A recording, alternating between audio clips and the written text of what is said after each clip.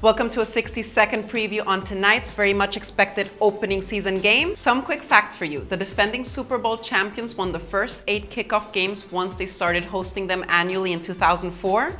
Seattle quarterback Russell Wilson has lost just one home game in his young career so far, and that was week 16 of last year against Arizona. Opening NFL odds had Seattle favored by five and a half points, but most sport books have a line of six available now. The over and under has shifted upwards a point with the current number at 46 at top sites.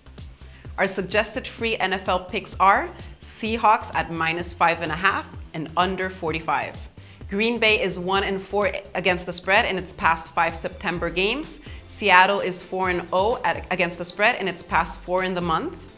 The under is 7 and 0 in Seattle's past 7 against the NFC. Okay, ladies and gentlemen, make your bets and enjoy tonight's game. For sportsbookreview.com, this is Nadia Holz.